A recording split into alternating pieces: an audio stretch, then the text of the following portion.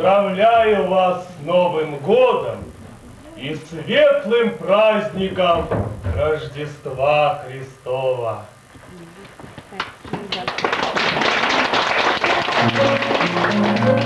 В